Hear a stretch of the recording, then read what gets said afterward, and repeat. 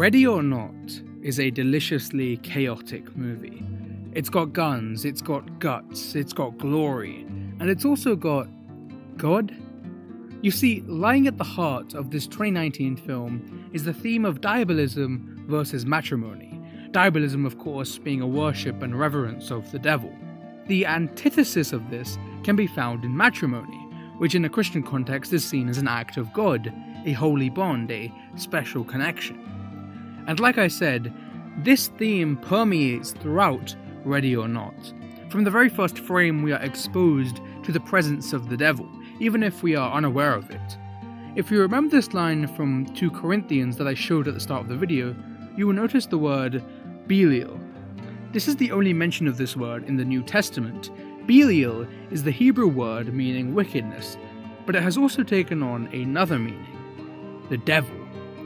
In Ready or Not, the Le Domas fortune is said to have been acquired after Victor de Domas made a deal with a man called Le Bail, which is an anagram for, you guessed it, Belial.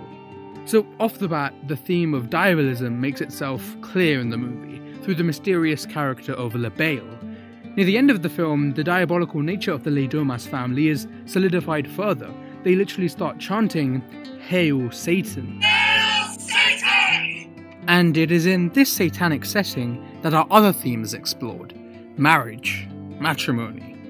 Alongside our protagonist's journey to escape, we are also invited to witness the collapse of a marriage, how these two newlyweds, Grace and Alex, begin to grow more distant, both in terms of physical distance but also psychologically. Grace as a character hardens, becomes more cynical after the trauma she endures, this is perhaps best captured in her brief encounter with Le Bail, Belial, as we just established, the literal devil. In contrast, Alex has to grapple with the tension between him and his family, how this tension and also their diabolism forms cracks in his relationship with his wife. These cracks are eventually forged into gaping chasms. Alex embraces the demonic way, betraying Grace and being willing to sacrifice her. Ultimately, we find our holy matrimony, this act of God being corrupted by the forces of the devil. When we first see Grace, she is reciting her vows through sickness and health, till death do us part. Well, this ironically becomes literally true as Alex explodes in a gloriously gruesome fashion. Adding to the Christian symbolism is the fact that our protagonist herself is called Grace. To cycle back to what I said earlier, what we see play out in the film, in all its bloody extravagance, is the theme of diabolism versus matrimony. Or, to put it perhaps more appropriately, diabolism corrupting matrimony. So, let's take a look at a few ways in which Ready or Not is able to fully emphasize and explore what we just talked about.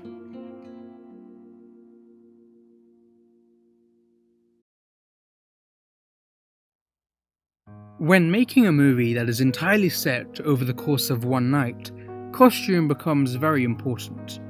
You need to ensure that they stay consistent without breaking continuity, and also that they evolve alongside the characters that wear them. The costume tells us about the character, their lifestyle, emotions, and the situations that they're caught up in.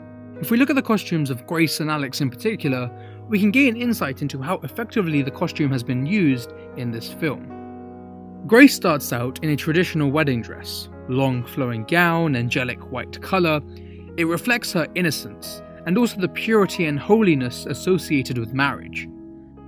This fashionista article also notes that the high neck, long sleeve silhouette speaks to Grace's vulnerability, entering the Le Domas domain, and serves as an armour of sorts. Over the course of the movie, Grace's dress, this symbol of traditional marriage, begins to break down. She rips the gown slightly, then swaps out the white heels for some converses. She then fully tears off the bottom of the gown, gets a gun and ammo strap.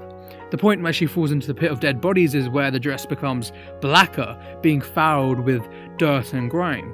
Her hair gets messier, she rips off the sleeves, that previously mentioned armour of sorts, and also begins to stain the dress with blood. She rips the dress even more, and then we get to the climax of the movie, where the dress becomes completely drenched in blood. In the final shot, the dress takes on this deep red black colour. the initial white evolves into a satanic red. The dress embodies the psychological journey that Grace undergoes, and it represents her break away from traditional matrimony. I think costume designer Avery Plewes puts it best when she says, Marriage is such a traditional patriarchal institution, and she, Grace, just completely disassembles that and reappropriates that symbol as a tool for her. Alex's costume is in contrast quite different from Grace's. He also begins in white, but unlike Grace, continues to stay in that single colour for most of the movie. This reflects his commitment to his marriage, his willingness to protect Grace and go against his family. It is only when he witnesses his brother and mother's death and proceeds to give in to his diabolical side that his clothes drastically change, becoming stained with blood. He gives in to the temptations of the devil, and as a result, destroys his own marriage.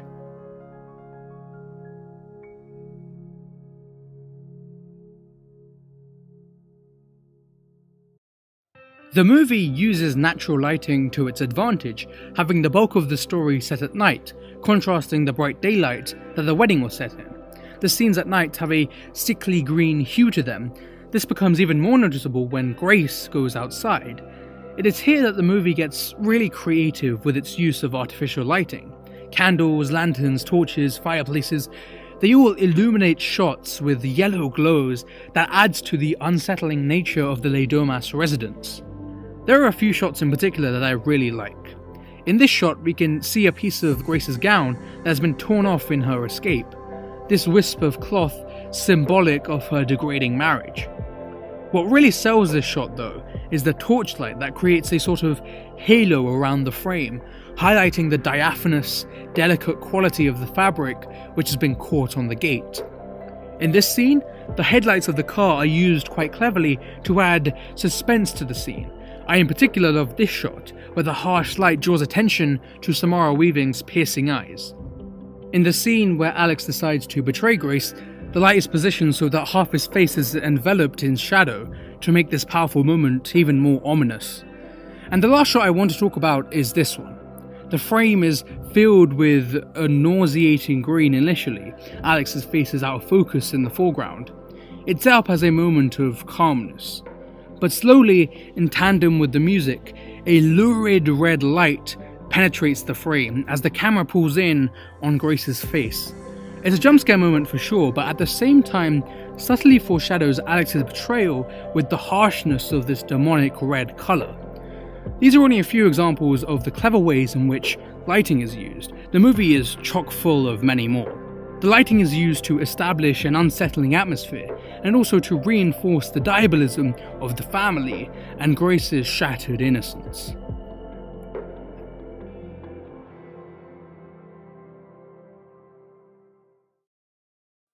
Speaking of Grace, Samara Weaving does a fantastic job at portraying the evolution of her character.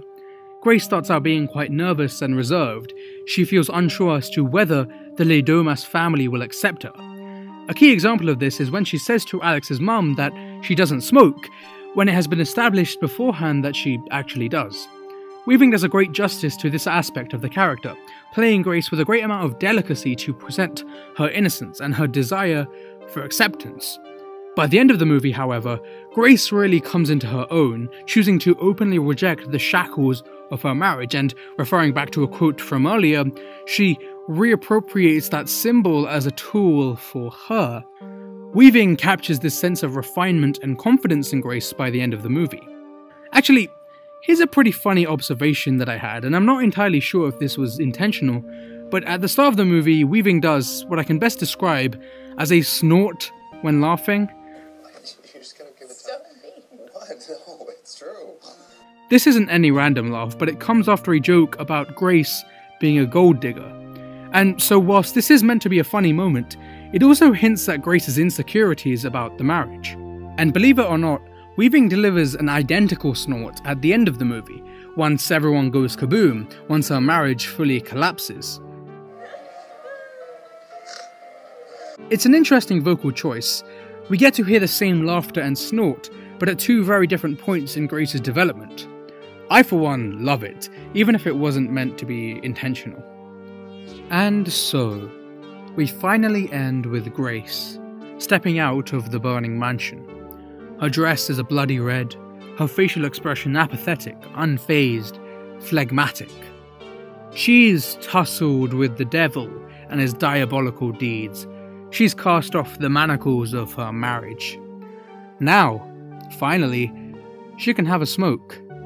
God knows she needs one because, boy, she's had a long day. Thanks for watching.